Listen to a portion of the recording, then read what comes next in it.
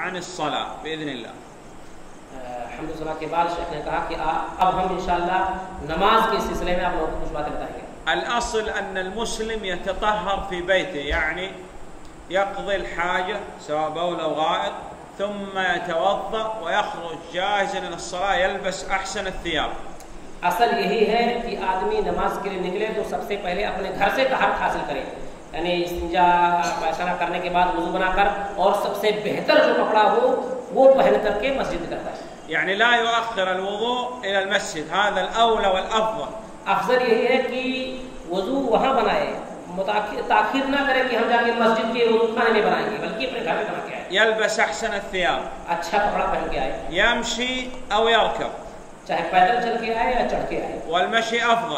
اور پیدل چل کے آتا ہے تو اور بہتر ہے۔ يمشي ولا يهرول أو يجري يعني يمشي في سكينة في الحركات ووقار في الهيئة يعني لا يأتي ويهرول أو يرفع الصوت أو مشمر نعم दौड़ता हुआ नमाज के लिए ना आए बल्कि इस हालत में आए कि उसके पास सुकूनत और वकार हो और इस तरह से ना आए कि कपड़ा वपड़ा समेट कर समेटता रहे बल्कि इस तरह से आए जैसे आम चाल चल के आता है فإذا وصل إلى المسجد جعل الدنيا خارج المسجد لا يدخل الدنيا معه الى المسجد.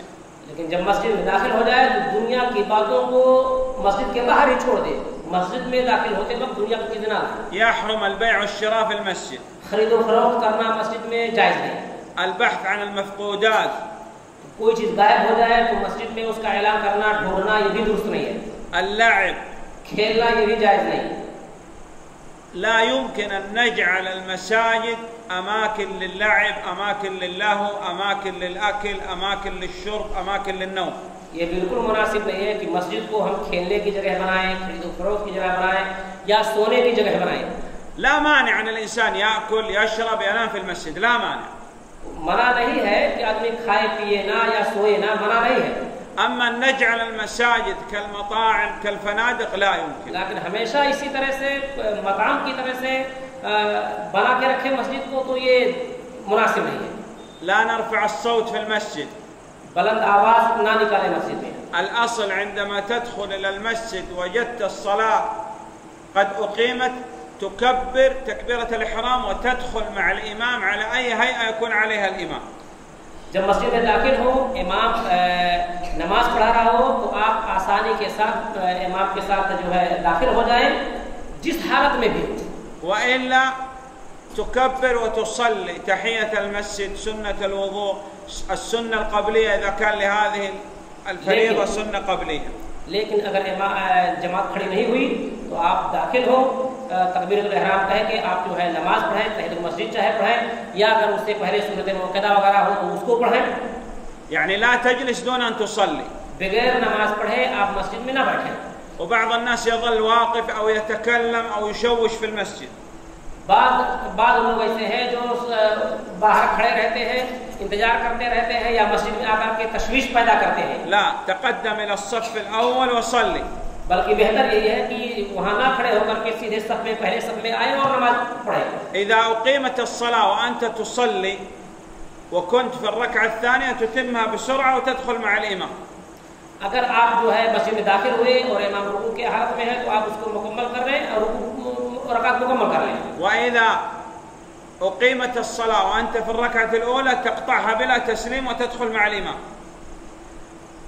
और अगर आप पहले इमाम पहले रकात पहले आप रकात में है अगर और एक जमात खड़ी है तो आप फौरन छोड़ दें उसको और इमाम के साथ दाखिल हो जाए نعم ما هي شروط الصلاة सलाह नमाज की शर्तें क्या हैं الصلاة لها شروط لابد أن تأتي بشروط الصلاة قبل الدخول في الصلاة نماز میں داخل ہونے سے پہلے کچھ نماز کے شرطیں ہیں اسے پورا کرنا ضروری ہے۔ الاسلام۔ پہلی چیز اسلام ہے مسلم ہونا۔ وضد الاسلام الكفر۔ اور اس کے بالکل الٹا کافر ہے۔ فلو صلى الكافر۔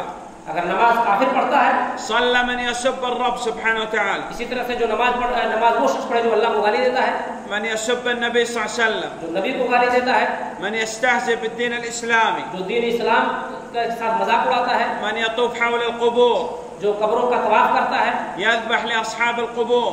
اور ذبح کرتا ہے قبروں والوں کے ساتھ لا, لا تقبل له صلاه حتى يتوب. اس کی نماز بالکل مقبول نہیں ہے یہاں تک کہ وہ توبہ کر لے۔ الثاني العقل. فلا تصح صلاه المجنون. دوسری شرط جو ہے عقل ہے اور مجنون کی عبادت یا نماز قبول نہیں ہے۔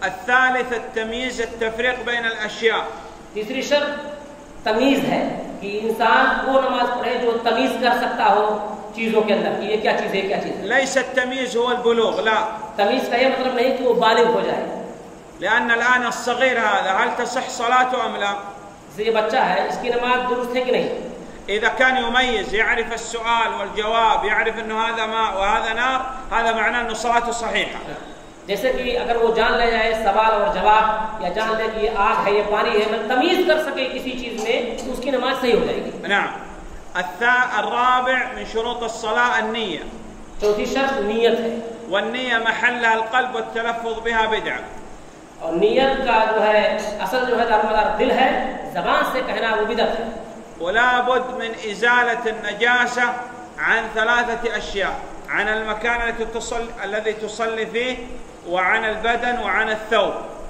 और नजासत का जो है जाहिर करना वो तीन चीजों में या जहाँ पे आप नमाज पढ़ें उस पे अगर कोई गंदगी लगी है तो उसे साफ करें कपड़े में लगी है तो उसे साफ करें बदन में लगी है तो उसे साफ करें فلو صلى ع- وعلى بدن نجاسة أو على ثوب نجاسة أو في مكان نجس وهو عالما بوجود النجاسة قادرا على إزالتها ذاكرا لها فالصلاة باطلة اگر ان تینوں تینوں چیزوں میں اگر نجاست لگی ہے یعنی جہاں پہ نماز پڑھ رہے ہیں، آپ یا آپ کے بدن پہ یا آپ کے کپڑے پہ اگر نجاست لگی ہے اور آپ جانتے ہیں اور اس کے ہٹانے پہ آپ قادر ہیں، اس کے باوجود آپ اسے نہیں ہٹا رہے ہیں، تو آپ کی نماز باطل ہو جائے گی، درست نہیں ہے۔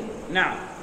ايضا من شروط الصلاة رفع الحدث الاكبر والاصغر الحدث الاكبر ارتفع بالاغتسال والاصغر يرتفع بالوضوء.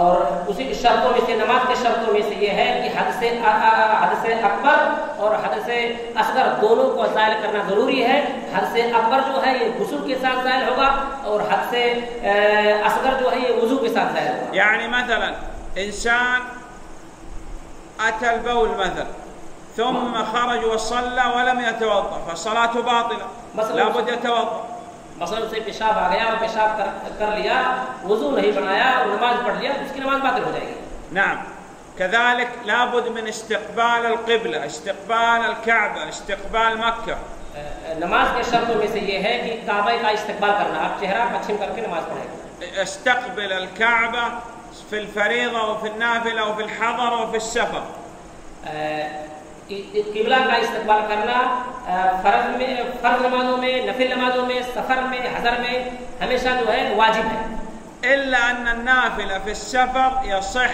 أن تصلى حيث توجهت به الراحلة أو القطار أو الطائرة أو السيارة النافلة فقط सिर्फ सफर में आप अगर सवारी के सवार हो सफर में आप जो है नफिल नमाज پہ ضروری نہیں ہے کہ آپ قبلے کی کا استقبال کریں بلکہ جدھر بھی آپ کی سواری جائے اسی طرح بھی آپ نماز پڑھ سکتے ہیں۔ صرف نافلہ وہ بھی سفر میں۔ ولابد من ستر العورہ او اخذ کامل الزینہ فی الصلاة۔ ضروری ہے کہ آپ جو ہے شرطوں میں سے یہ بھی ہے کہ آپ اپنے شرمگاہ کو ڈھک لیں یا پورے بدن کو کم سے کم کم سے کم شرمگاہ کو اور احسن یہی ہے کہ پورے بدن کو ڈھک لیں۔ نعم۔ وكذلك لا بد من دخول الوقت فلا يصح أن يصلي قبل دخول الوقت أو يتعمد إخراج الصلاة عن وقتها और जरूरी है कि जब तक वक्त दाखिल ना हो जाए वक्त ना हो जाए उस वक्त का नमाज ना पढ़े क्योंकि बगैर- पहले वक्त पढ़ लेंगे या तामुद के साथ आमदन जब वक्त निकल जाए तब पढ़े दोनों हालतों में आपकी नमाज कबूल नहीं होती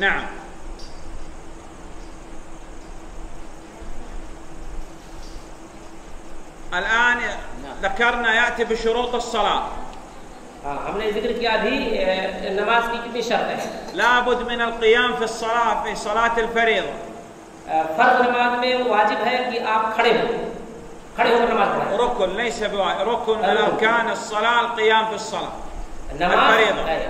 फर्ज नमाज के रुकन में से खड़े होकर के नमाज पढ़ना है أما صلاة النافلة يصح أن يصلي جالسا لكن يأخذ نصف أجر القائم लेकिन अगर नफिल नमाज पढ़ रहे हैं तो बैठ करके भी नमाज आपकी हो जाएगी लेकिन उसका आधा सवाब मिलेगा आपको نعم يقوم खड़े होकर के नमाज पढ़े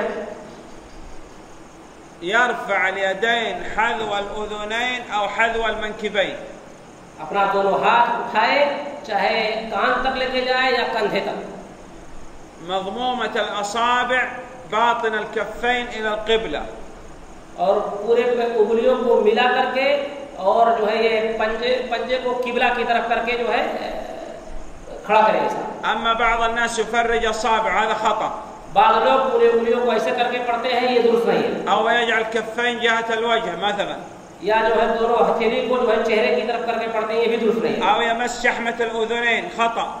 یا جو ہے یہ کان کو چھو کر کے لگا کے جو ہے تکبیر کہتے ہیں یہ بھی درست نہیں۔ یا ضم الكفين يضم الاصابع حذو الأذنين أو المنكبين. پورے انگلیوں کو سٹا کر کے چاہے کان کی طرف لے کی طرف تک لے جائیں یا کندھے تک لے کے جائیں۔ يقول الله أكبر. اور اللہ اکبر کہیں۔